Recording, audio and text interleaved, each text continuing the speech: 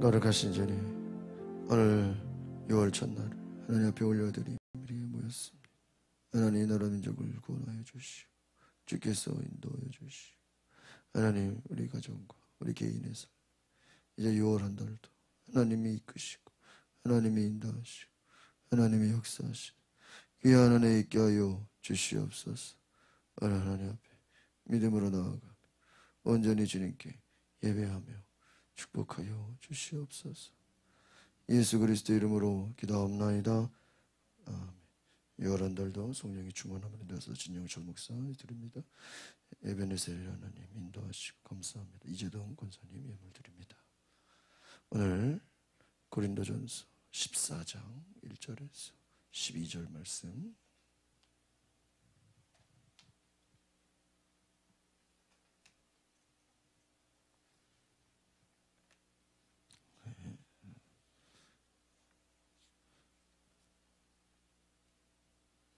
같이 보시겠습니다. 시작.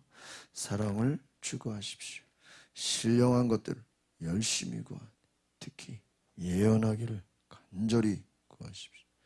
방언을 말하는 사람, 사람들에게 말하는 것이 아니라 하나님께 말하는 것입니다. 아무도 이것을 알아들을 수 없습니다. 이는 그가 영으로 비밀을 말하는 것이기 때문입니다.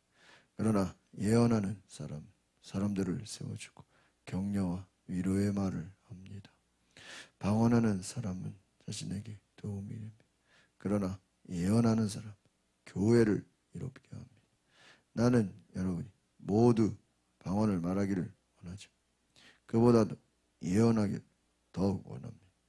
누가 방언을 통해 교회를 이롭게 하지 못한다면 방언하는 사람은 예언하는 사람 더 훌륭합니다. 이제 형제들이 만일 내가 여러분에게 가서 방언만 하고 계시나 지식이나 예언이나 가르침을 전하지 않는다면 여러분에게 무슨 유익이 있겠습니까? 비리나 수금같이 생명이 없는 악기가 소리를 낼 때도 각기 뚜렷한 소리를 내지 않는다. 피리를 부는 것이 수금을 타는 것인지 알수 없지 않습니까? 또 나팔이 불분명한 소리를 낸다면 누가 전투를 준비하겠습니까? 이와 같이 여러분도 여러 이해할 수 있는 말을 하지 않는다면 그 말을 어떻게 할 수 있겠습니까? 여러분 허공에 대고 말하는 격이 될 것입니다. 세상엔 수많은 종류의 말소리가 있으나 뜻이 없는 말은 하나도 없습니다. 그러므로 만일 내가 그 말의 뜻을 알지 못한다면 말하는 사람에게 나는 외국 사람이 되고 그 말하는 사람도 내게 외국 사람이 될 것입니다. 이와 같이 여러분 성령의 은사들을 간절히 원하는 사람들이니 교회를 위해 더욱 풍성하게 받기를 구하십시오. 아멘. 오늘 아, 고린도전서 1장에서 14장 1절에서 12절의 말씀은 바로 영적 은사의 목적은 공동체의 유익이다라는 것입니다. 특별히 어, 은사에 대해서 나와 있습니다. 그러면서 어, 이 은사의 목적이 무엇인가? 바로 공동체를 위한 것이다라는 것입니다. 어, 방언과 예언 두 가지 은사를 통해서 너희가 공동체에서 어떤 기의 은사가 쓰여져야 하는가? 바로 사랑을 따라 덕을 세우고 교회를 세우는 일에 쓰임 받으라 하는 것입니다. 우리가 방언은 무엇입니까? 하나님께 우리의 영으로 비밀을 말하는 것이다. 예언은 무엇입니까? 하나님의 말씀을 전하는 하나님의 감동을 전하는 것이 예언입니다. 어떻게 보면 방언 따로 예언 따로로 구분할 수도 있겠지만 방언을 통해서 또 영적인 하나님의 감동이 들어오면 그것을 증거할 때 예언이 됩니다. 그러니까 우리가 뭐 예언을 해야지, 뭐 예언을 해야지, 뭐 우선 작정을 하고 하는 사람들도 물론 있겠지만 어떻게 보면 예언이라는 것은 그렇잖아요. 하나님의 말씀을 하나님의 그 말씀이라기보다는 감동을 전하는 거잖아요. 그럼 생각해 보십시오, 여러분. 하나님의 감동을 내가 받고 싶다고 받습니까? 주님이 감동을 주셔야지 되는 거 아닙니까? 하나님이 세미한 음성으로 우리에게 주시기도 하시지만 여러분 대부분의 우리가 하나님의 음성이라는 것은 귀로 들리는 분도 계시겠지만 어떻게 보면 감동 아닙니까? 우리가 방언으로 하나님께 기도하는 것도 우리가 그 내용이 무슨 내용인지 모르지만 그 방언함으로 통해서 그 성령이 우리 안에 감동을 주십니다. 그러니까 이 방언이 중요하냐 예언이 뭐 중요하냐 어떤 이것을 따지기 이전에 이 두 가지가 다 성령으로부터 나온 것이고 그 성령으로부터 나온 그 은혜가 어떻게 쓰여지느냐 하는. 그러니까 방언을 말하고 기도하면서 좀 더 깊은 단계에 들어가는 것이라고 할 수 있죠. 이 방언에 대해서는 참 많은 신학적인 해석들이 있습니다. 첫 번째는 아 이제 이 시대에 방언은 없다. 초대교회로 성령의 연사는 다 끝났다. 지금은 성경 말씀이 있으니까 말씀대로만 살면 되지 무슨 방언이나 은사나 예언이나 이런 게 뭐가 필요하느냐. 이 모든 은사나 방언이나 예언을 부정하는 아주 부정하는 사람들이 있습니다. 실제로 어, 저는 그런 분들 얘기도 들어봤어요. 어, 사도행전 시대로 끝났다. 그때는 성경이 없었기 때문에 방언도 말하고 예언도 하는 거지. 이제는 성경이 있으니까 다 필요 없다. 어, 아주 부정하는 사람들도 있습니다. 또, 뭐, 인정은 하지만, 뭐, 그게 뭐가 중요하느냐. 우리 어제 말씀 본 것처럼, 사랑을 실천하면 되고, 어, 뭐, 각자 내게 주신 은혜대로 살면 되지. 뭐, 굳이. 부정하는 건 아니지만, 별로, 어, 소극적인, 소극적 부정. 뭐가 방언 받는다고 뭐가 대수냐? 예언한다고 뭐가 대수? 아주 그냥 인정은 하되 별로 중요하지 않다는 사람들 있습니다. 또 이제는 소극적인 긍정. 은사는 없는 것보다는 있는 게 난데 뭐 있어서 유익이 되고 또 이것으로 알면 깊은 기도도 되고 또 하나님의 감동을 받기도 하고 또 필요에 따라서는 예언을 하기도 하고 방언을 하기도 하고 소극적인 긍정을 하는 사람도 있습니다. 또 어, 아주 적극적으로 반드시 방언을 해야 되고 반드시 또 예언을 해야 되고 아주 이것은 정말 오늘날에 우리가 살아가기 위해서는 반드시 필요해야 되는 어떤 적극적인 또 긍정론도 있습니다. 그러니까 신학적으로 보면 이 은사라는 파트는 아주 부정적인 사람들로부터 아주 적극적인 사람들까지 다양합니다. 그러니까 바울이 이 은사를 말할 때 참 옛날이나 지금이나 참 조심스러운 부분도 있다는 거예요. 왜 그럴까? 이 은사를 받은 사람들이 굉장히 이게 교회에 덕이 돼야 되는데 덕이 되지 않는 경우도 있어요, 없어요? 있다는 거예요. 그러니까 오히려 방언을 받았다는 사람들이 오히려 예언을 한다는 사람들이 교회 안에 문제를 일으키고 오히려 뭐 분란을 일으키고 엉뚱한 소리를 하고 다니고 도성도들을 비난하고 정죄하고 오히려 교회에 덕이 되지 않으니까 그걸 본 사람들은 뭐라 그러죠? 야, 차라리 저럴 바에는 방언을 안 하는 게 낫다. 차라리 저럴 바에는 예언을 안 하는 게 낫다. 오히려 무용론으로 또 가게 되는 거예요. 그래서 어떤 부흥 강사는 방언은 강조하는데 또 예언을 아주 부정하는 분도 계셔요. 실제로. 막 능력도 나타나고 치유도 나타나고 그런데 이 예언만큼은 아주 부정해요. 방언은 인정하는데 예언은 하지 마라. 이래가지고 그런 분도 계셔 실제로. 막 치유 사역하고 막 예? 그런 큰 사역을 하시는 성령의 임재를 하시는 분도 예언은 야 이거는 하지 마 하지 마 문제만 일으켜. 아주 또 이 방, 이, 이 예언을 아주 또 부정적으로. 과연 뭐냐? 제가 볼 때는 그렇습니다. 방언을 받아도 예언을 한다고 해도 열매를 보아할지니 성령의 은사를 받았어도 그것이 덕을 끼칠 수도 있고 덕을 끼치지 못할 수도 있습니다. 그래서 현상이에요. 그러니까 방언을 받았다고 예언을 한다고 해서 다 유익이 되고 다 덕을 끼치는 것은 아니다. 왜? 실제로 그렇지 않은 사람들이 있기 때문에. 그럼 어떻게 해야 되는 것인가? 정말 오늘 말씀처럼 너희가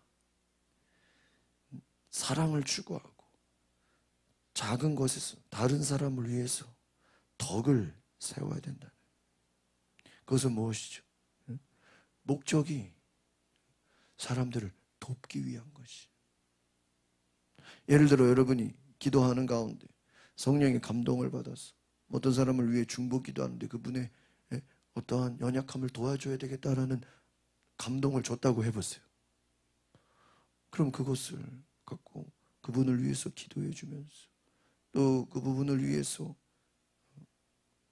또 내가 도와주면서 그 사람이 정말 하나 어떤 돕는 자로서 우리가 그가 잘 설 수 있도록 어떻게 해야 돼요? 도와줘야 돼요. 교회도 마찬가지. 내가 어떤 공동체를 위해서 또 내가 어떤 모임을 위해서 하나님의 어떤 비전과 마음과 은혜를 주셨다 그러면 그것을 가지고 내가 덕을 끼치고 도와야 되는 거예요. 근데 여러분 똑같이 감동을 받고 똑같이 은혜를 받아도 이, 이게 덕을 끼치는 게 아니라 오히려 교만해지는 경우가 많다는 거예요. 나는 우월하다.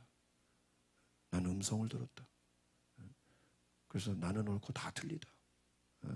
나만 맞고 다 틀리고 다 지금 다 문제고 이 목적이 정죄하는 목적으로 가면 이제부터 문제가 되는 거예요. 나만 뛰어난 사람이 되고 다른 사람들은 다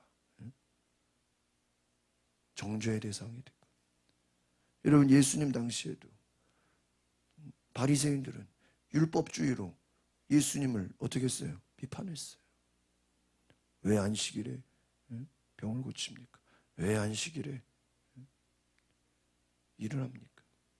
왜 제자들은 금식하지 않습니까? 아니 자기들이 금식하면 되는 것을 제자들이 왜 금식하지 않습니까? 비판과 정죄의 대상으로 봤다는 것. 여러분 오늘 우리가 말씀을 통해서 하나님의 귀한 은혜를 경험하시기를 바랍니다. 1절을 다시 한번 보겠습니다. 시작. 사랑을 추구하십시오.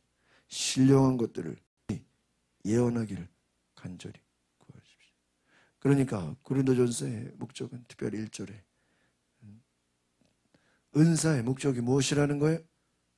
사랑이라는 거예요. 사랑을 추구하는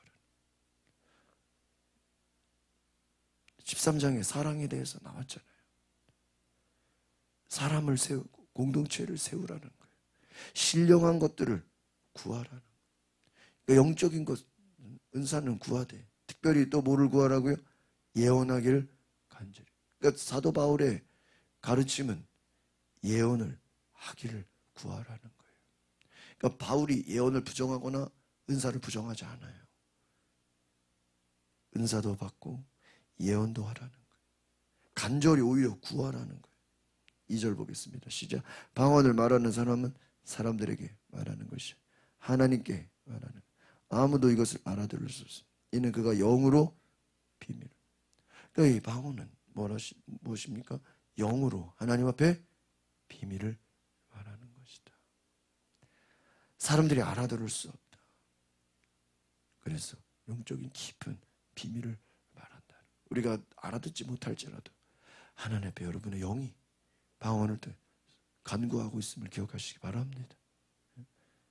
이 깊은 단계에 들어가십시오. 3절 시작. 그러나 예언하는 사람, 사람들을 세워주고 격려와 왜 이 얘기를 했을까? 사람들이 은사를 받아서 방언을 많이 하는데 문제는 뭐예요? 하나님께 방언은 열심히 하는데 이것이 밖으로 이제 감동이 전해지고 나눌 때 이것이 예언의 기능이 되어지는데 사람들을 세워주고 격려하고 위로하는 게 아니라 어떻게 해요? 낙심을 주고 실망을 주고 정죄하고 비판하는데 쓰여지는 경우도 있다 없다? 있다는 거예요. 그러니까 오히려 방언을 많이 하는 사람이 오히려 다른 사람들을 실족하게 하고 실망하게 하고 음, 격려와 위로가 아니라 세워주는 게 아니라 오히려 잘난 체하고 자기만 잘났다고 하고 사람들을 낙심시키고 절망을 주고 정죄를 하고 그러면 공동체가 되겠냐 4절 시작. 방언하는 사람은 자신에게 도움이. 그러나 예언하는 사람은 교회를 이루게 너희가 방언을 많이 함으로 너희 자신이 영적인 성장이 될 수 있고 하나님을 알 수는 있어 깊은 어떤 계시를 받을 수도 있고 비밀을 알 수도 있고 그러나 너희의 말을 통해서 이 예언이라는 것은 그 사람의 말을 말하는 너의 예언을 통해서 너로 인해서 교회가 잘 세워지고 있느냐? 너로 인해서 성도들이 세워지고 있느냐? 뭐를 보아 할지니? 열매를 보아 할지니. 방언 받은 사람을 통해서 그 예언, 그 사람의 사역을 통해서 정말 사람들이 세워지고 있느냐? 영적으로 공급받고 도움받고 있느냐? 자기만 잘나서 자기만 대단하다고 교만에 빠지는 게 아니라 같이 사람들을 세워가고 있느냐. 여러분 성령의 열매는 공동체를 세워가시는 것, 세워가는 것을 기억하시길 바랍니다. 나를 위한 게 아니에요. 6절 시작. 이제 형제들이요. 만일 내가 여러분에게 가서 방언만 하고 계시나 지식이나 예언이나 가르침을 전하지 않는다면 여러분에게 무슨 유익이 있겠습니까? 그러니까 사도 바울도 엄청난 계시를 많이 받았는데 내가 방언만 하루 종일 하고 가르치지 않는다면 교회를 세우지 않는다면 음, 무슨 상관이 있습니까? 그렇잖아요. 혼자서만 영성을 키우고 남들을 세우지 않는다면 수많은 계시를 받았다고 할지라도 무슨 유익이 있겠냐? 7절 시작. 비리나 수금같이 생명이 없는 악기가 소리를 내도 각기 뚜렷한 소리를 내지 않는다. 피리를 부는 것인지 수금을 타는 것인지 알 수. 여러분 기타가 아무리 잘 쳐도 튜닝이 안 되면 조율이 안 되면 피아노를 아무리 잘 쳐도 조율이 안 되면 들을 수가 없어요. 목적이 성령의 은사가 목적대로 쓰여지지 않는다면 너무나도 오히려 들을 수가 없다는 거예요. 그러니까 무슨 말입니까? 너희가 성령을 받고 또 은사를 받고 하나님 앞에 깊은 단계로 들어갔을 때 그것이 정말 올바른 목적을 위해서 영혼을 세우고 정말 이웃을 위해서 교회를 위해서 성도들을 위해서 세우는 목적으로 쓰여지지 않으면 무슨 의미가 요 이것은 어떤 축복도 마찬가지예요. 여러분 우리가 하나님 앞에 축복을 받아요. 근데 그 축복을 나를 위해서 쓴다면 그게 축복입니까? 여러분 성경은 하나님의 축복을 나누라고 흘러 넘치게 하라고 축복의 통로가 되라는 거죠. 내가 다 가졌어. 그것을 나를 위한 것이 아니에요. 남을 위해 교회를 위해 통로가 되라는 거. 축복이 왜 우리가 축복을 받습니까? 그 축복을 받아서 통로가 되어야 되는 거예요. 왜 성령의 은사를 받습니까? 그 은사를 받아서 우리는 사람들을 세우고 돕는 거예요. 왜 예언을 합니까? 우리가 그냥 말하는 것보다는 성령의 감동을 받아서 예언을 할 때 그 사람들을 뭐 하는 거예요? 하나님의 사람으로 일할 수 있도록 세우는 거예요. 비판하고 정죄하는 게 아니라고요. 세우지 못하고 오히려 교회에 문제를 일으키는 사람들이 정말로 많아요. 그러니까 많은 목회자들이 야 그럴 바에는 방언하지 마. 그럴 바에는 예언하지 마. 차라리 안 하는 게 나. 얼마나 문제를 많이 일으켰으면. 오늘 우리가 목적을 위해서 쓰임 받을 수 있기를 바랍니다. 8절 봅니다. 시작. 또 나팔이 불분명한 소리를 낸다면 여러분 나팔이 제대로 불어야죠. 엉성하게 불면 무슨 도움이 되겠냐. 9절 시작. 이와 같이 여러분 혀로 이해할 수 있는 말을 하지 않는 그 말을 어떻게 할 수 있겠습니까? 여러분은 허공에 대고 말하는 격이 될 것입니다. 이해할 수 있는 말을 하지 않는다면 방언을 해서 우리가 알아들을 수 없는 말을 하나님께 하지만 그 감동을 가지고 우리가 말할 때는 예언을 할 때는 우리가 예언을 뭐, 뭐 방언을 하는 게 아니잖아요.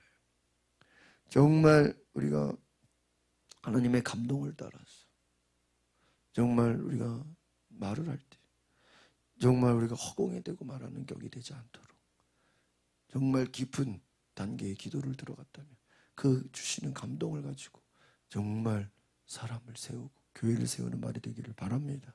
10절 시작. 세상에는 수많은 종류의 말소리 뜻이 없는 말 하나도 없습니다.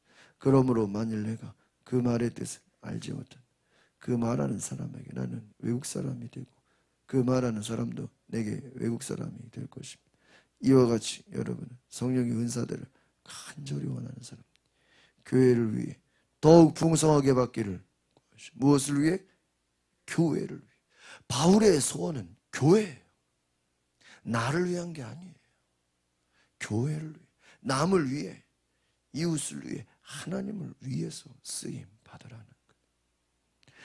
성령이 우리에게 오신 것은 주님을 위해 정말 하나님 나라를 위해 교회를 위해 오히려 내가 더 죽어지는 거예요. 내가 희생되는 거예요. 내가 낮아지는 거예요.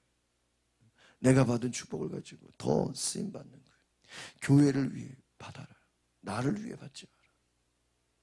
남을 시족시키기 위해 받지 말라는 거예요.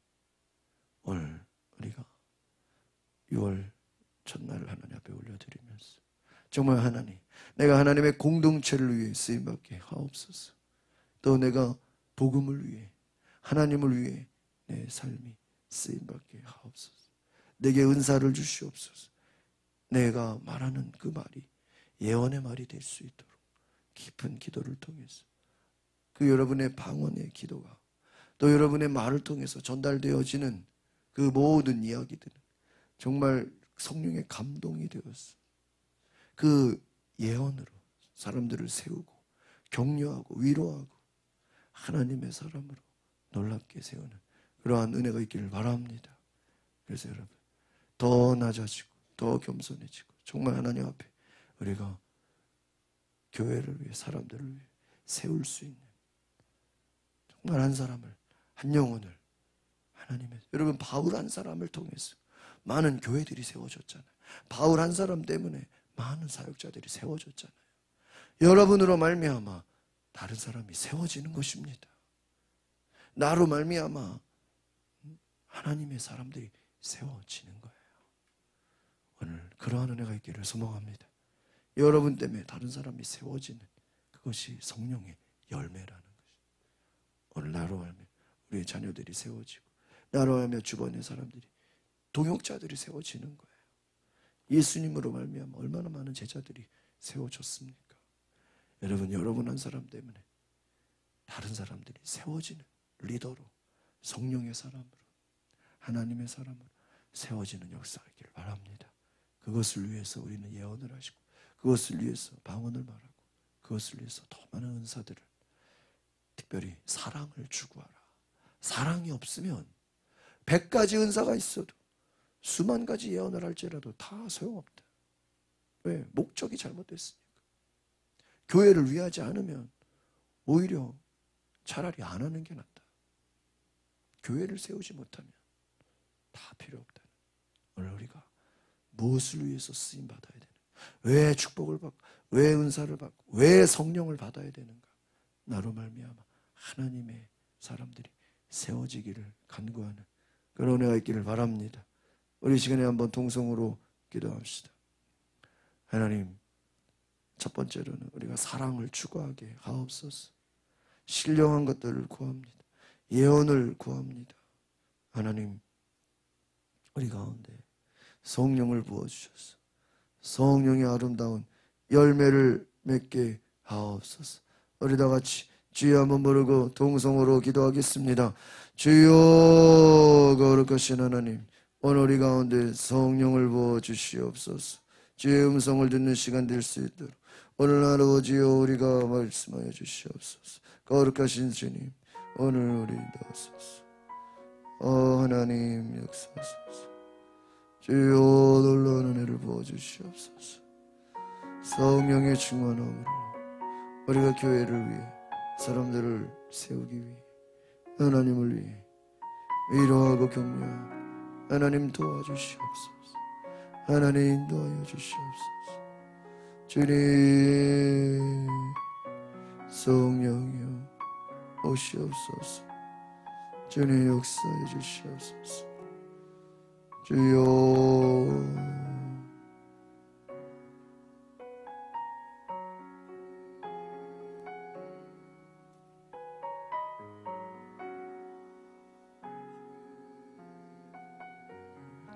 거룩하신 하나님 성령으로 임하소서. 사람들을 세울 수 있도록 교회를 세울 수 있도록 정말 한 사람 한 사람을 하나님의 사람 세울 수 있도록 주여 나에게 성령을 부어주시오. 성령으로 성령으로 이끌어 주소서. 주님 하소서. 오 주님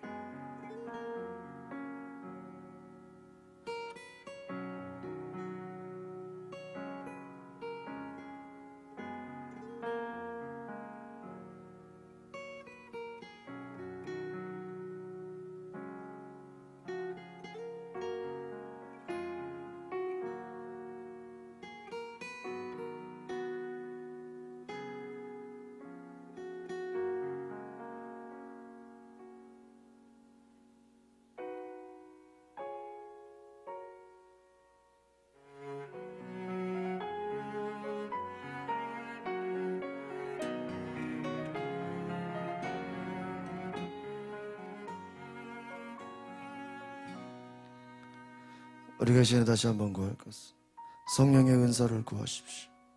하나님께서 구하는 자에게 지혜를 주시고 지식을 주시고 능력을 주시고 믿음을 주십니다. 또 분별할 수 있는 영분별을 주시고 하나님의 뜻을 알게 하시는 은혜를 주십니다. 우리가 한순간 한순간 무엇이 하나님의 뜻인지 분별할 수 있는 지혜를 주시고 능력을 주시고 지식을 주시고 여러분 문제가 있을 때 그 문제를 해결할 수 있는 지혜를 주시고 영적인 분별력을 주시고 믿음의 능력을 주시고 하나님 거룩한 하나님의 능력으로 성령의 교통하심 성령의 감동을 받게 이 시간 우리가 다시 한번 구할 것은 성령님 나를 감동하여 주시옵소서. 우리가 그냥 방언을 말하는 것이 정말 성령의 감동을 따라 말하게 우리가 그냥 예언하는 것 성령의 감동을 따라 예언의 말을 할 수 있도록 성령님 감동하여 주시옵소서. 성령의 은사를 간절히 사모합니다. 성령님 내 안에 충만히 임하소서. 어리다 같이 주여 부르고 동성으로 기도하겠습니다. 주여, 오 주님, 성령의 임재를 구합니다. 성령의 감동하심을 구합니다. 주여 우리에게 임재하소서.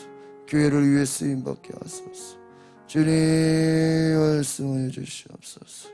간절히 사모하는 자들에게 주님 하여 주시옵소서. 오 주여 역사하소서. 오 주님 사랑합니다. 주님 하소서.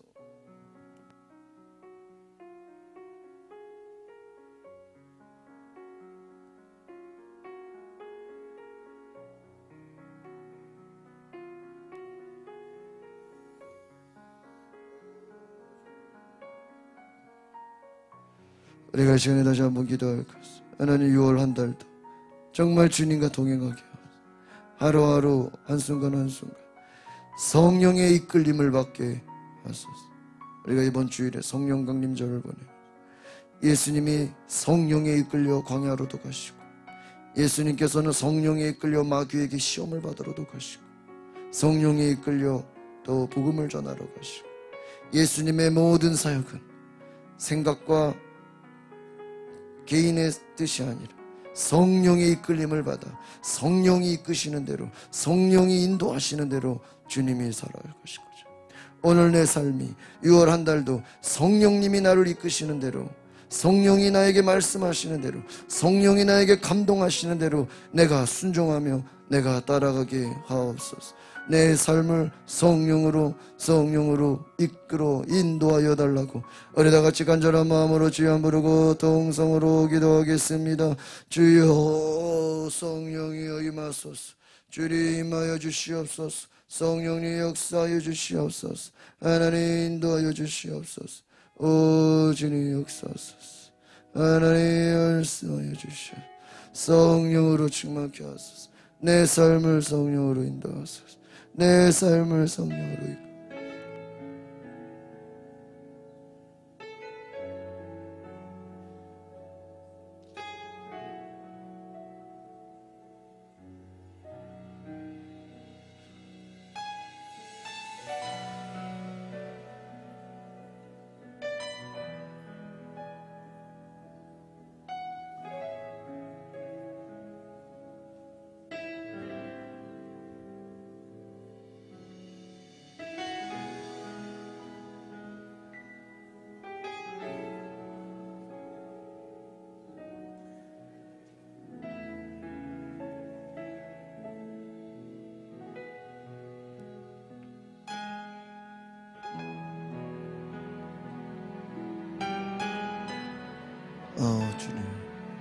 우리 자녀들을 축복하여 주시오 주여 시간 우리에게 말씀해 주시오. 성령을 따라 살게 하옵소서. 주여 우리에게 지혜를 주시오. 주여 우리에게 능력을 주시오. 주여 우리에게 은혜를 주시오. 축복을 주시오. 오늘 하나님 앞에 온전히 믿음으로 하소서. 하나님 교회를 위해 영혼들을 위해서 하나님을 높이 하나님의 귀한 보게 하여 주시옵소서. 주여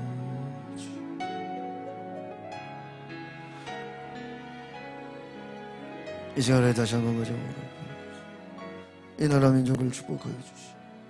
북한 땅을 축복하여 주시오. 오늘 특별히 또 이 나라의 지도자를 세우는 또 선거 날입니다. 하나님의 뜻에 합당한 자들이 또 이 나라를 위해서 온전히 하나님 쓰임 받을 사람들이 세워질 수 있도록 이 나라의 교육과 또이 나라의 모든 정치와 또 경제와 문화와 사회가 정말 하나님을 경외하며 하나님 보시기에 정말 거룩한 나라, 거룩한 백성이 될 수 있도록 이 나라를 주님 인도해 우리 나라와 민족을 위해서 북한 땅을 위해서 주여 모르고 기도하겠습니다. 주여 거룩하시 오늘 우리가 주의 은혜로 주시오. 축복하여 주시옵소서. 하나님의 역사해 주시옵소서. 주여 은혜 내려 주시오. 복을 내려 주시옵소서. 이 나라를 복 주시옵소서. 하나님의 사람들을 지도자로 세워 주시옵소서. 하나님을 경외하는 자들을 주님 세워 주시옵소서. 이 나라의 모든 통치와 교육과 문화와 경제 모든 영역 가운데 하나님의 통치가 임하게 하소서. 하나님의 역사가 임하게 하소서. 하나님의 충만한 인도하여 주시옵소서. 주님의 공의와 정의가 시행되었습니다. 주여 임하소서. 할렐루야, 할렐루야. 주여 오소서.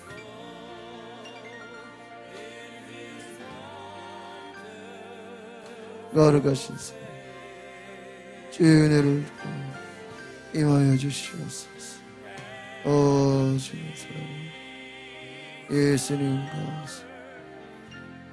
주님을 사랑 오늘 주님을 아버지여 역사하소서. 주님 어 주님 또 주님 또 주님 또 주님 역사하소서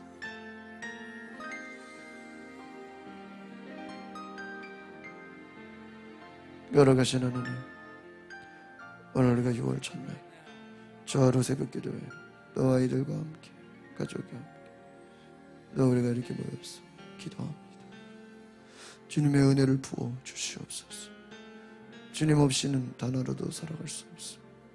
하나님 말씀으로 우리에게 먹여주시고 인도하여 주시고 성령의 능력과 은혜로 기름 부어 주시옵소서.